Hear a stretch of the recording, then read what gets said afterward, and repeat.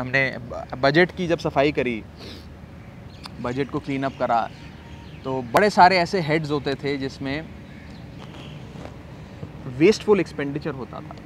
खर्च हो रहा है, पैसा एलोकेट हो रहा है, खर्च हो रहा है, कहाँ जा रहा है, भगवान जाने इतने सालों से। उसमें एक खर्चा होता था, बड़ा इंटरेस्टिंग है। एक दिन मैं सारे लाइन आइटम्स लेकर बैठा था बजट के। तो मैंने देखा कि नाम मुझे शायद पूरी तरीके से ध्यान नहीं है, लेकिन परचेज ऑफ़ ओपीएम शायद नाम था कि ओपीएम जो नशा होता है, वो नशे का पदार्थ खरीदने के लिए भी कुछ पैसे दिल्ली के बजट में दिए हुए थे। मैं बड़ा हैरान हुआ, मैंने कहा, दिल्ली सरकार क्यों खरीदेगी? ओपीएम क्यों खरीदेगी? तो मैंने थोड़ा इधर उधर पता वता किया किसी अफसर से। तो पता लगा कि जब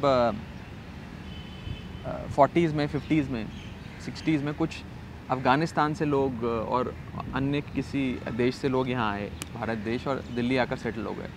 वो एडिक्स थे वो उसके बिना ज़िंदा नहीं रह सकते तो सरकार ने कुछ कुछ जगहों पर ऐसी दुकानें बनाई कि वो तो मरी जाएँगे अगर उनको नहीं मिलेगा। तो उनको एज मेडिसिनल पर्पज के लिए रिहेबिलिटेशन और उनको रिहेबिलिटेट करने के लिए ये सारे पदार्थ देने आवश्यक है। लेकिन वो आज भी खड़े हुए हैं। वो लोग चले गए लोग चल बसे।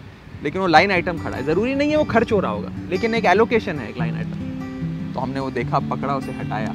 तो कहने का मतलब है इतनी बारीकी से एक एक चीज़ को एक एक लाइन आइटम को स्टडी करते हुए हमने मनीष जी ने, मनीष जी की गाइडेंस में हम सबने काफ़ी हद तक कोशिश करी बदलने की।